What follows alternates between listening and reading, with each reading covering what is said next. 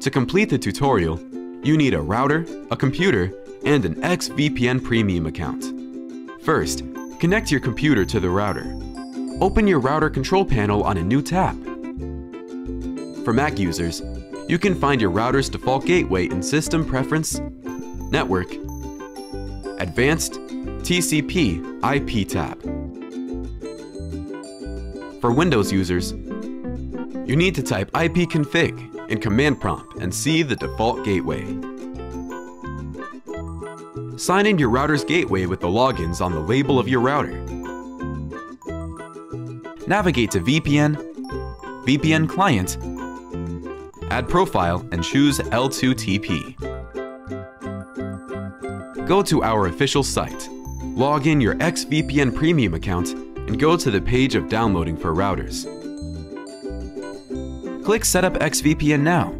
Select your router and you can get the username, the password, and the IP of the server location. Now go back to your router's default gateway. Enter the username, the password, and the IP address you got, then click OK. Click Activate to boot. Now you have set up L2TP router for unlimited and secured online surfing.